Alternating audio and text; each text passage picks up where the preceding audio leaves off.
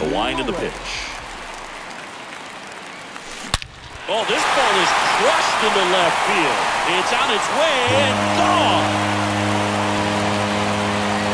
That's what the fans came to see, and just like that, they're out front. It's 1 nothing.